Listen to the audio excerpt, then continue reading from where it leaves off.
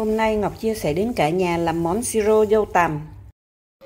Món này thì vừa giải khát, vừa chữa táo bón, thanh nhiệt, giải độc, tốt cho tim mạch, giảm cân, tốt cho xương khớp, giảm lượng đường trong máu. Và nếu cả nhà thích món này thì hãy vào làm cùng mình nhé.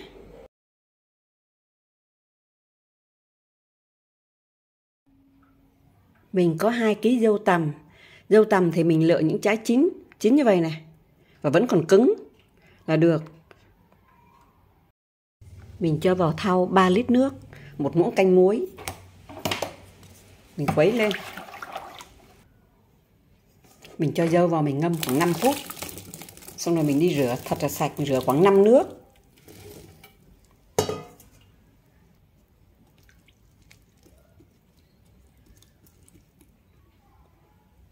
Mình ngâm được 5 phút rồi mình đi rửa. Và mình rửa như vậy này. Mình lấy cái rổ mình đắc lắc như vậy này. Thì cái lá nó vụn vụn nó, nó sẽ rụng xuống. Mình chuẩn bị phần đường 1 kg 2 để mình ướp dâu. Nếu ai không có cân thì mình đong thật đầy như vậy này 20 g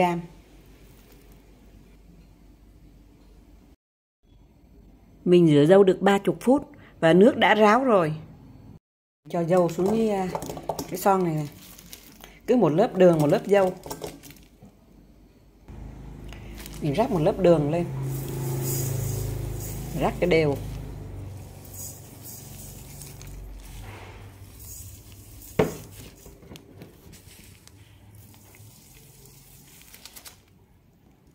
Tiếp theo là lớp dâu.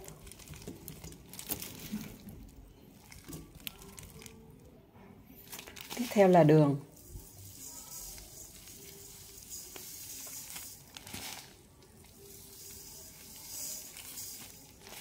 Và mình ướp trong tủ lạnh.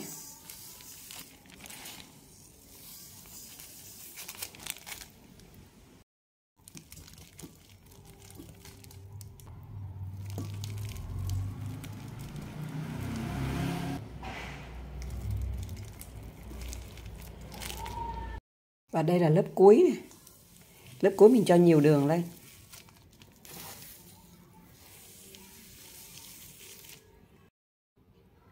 Và đây là người chồng dâu này chỉ cho mình làm. Mình bọc cái màng bọc thực phẩm lại. Bây giờ mình đem vào trong ngăn mát, tủ lạnh mình để.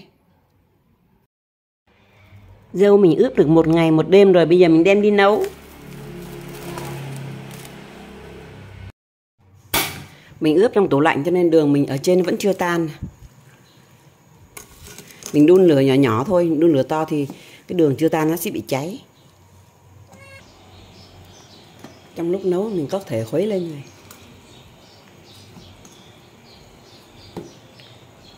Và mình ướp trong tủ lạnh thì dâu mình sẽ rất là ngon. Nếu mình đun lửa to thì mình phải khuấy như vậy này, thì nó không có bị cháy.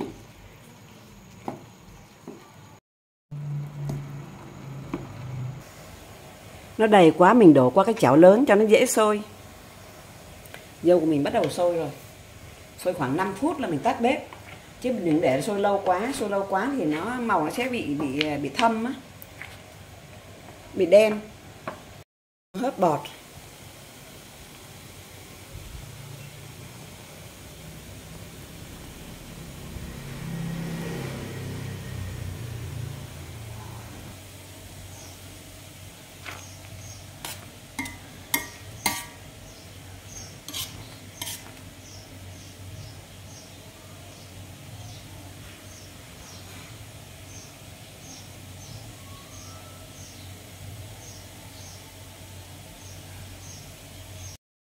Sôi được 5 phút, bây giờ mình tắt bếp.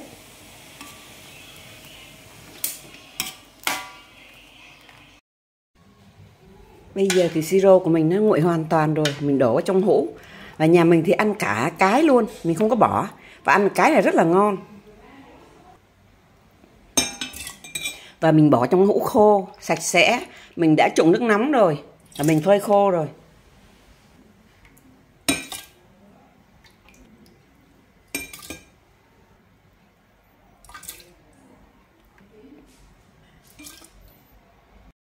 Cả nhà ơi, nhìn cái màu dâu tầm của mình rất là đẹp này. Màu đẹp tự nhiên. Và đây là hũ dâu tầm mình thu được. 2 kg dâu tầm và 1 kg hai đường. Mình đầy một hũ này luôn. Hũ này khoảng 3 lít. Mình đi pha nước. 50 ml nước lọc. 150 ml nước dâu vừa nước vừa cái. Và ly này là ly 350 ml. Bây giờ thì mình thưởng thức, mình mời cả nhà nha. Nhà mình thì ăn nguyên cái trái này chứ không có bỏ. Và cái người chồng dâu họ cũng chỉ mình làm cách lên vậy nè. Ngon quá cả nhà ơi. Rất là ngon. Và vừa miệng. Cái món này thì dễ lắm. Nếu mà mình ăn ngọt đó thì mình cho thêm nhiều cái nước dâu này, mình ăn nhạt thì mình cho nhiều đá, bớt nước dâu đi. Món này thì vừa giải khát vừa tốt cho sức khỏe và uống cũng rất là ngon, màu sắc rất là đẹp. Mình có thể làm để uống hay để kinh doanh. Món này thì mình bảo quản trong ngăn mát tủ lạnh. Video của mình đến đây là hết. Chúc cả nhà thành công nếu cả nhà thích thì hãy like, đăng ký và chia sẻ cho mình nhé Cảm ơn cả nhà đã xem video của mình. Xin chào và hẹn gặp lại.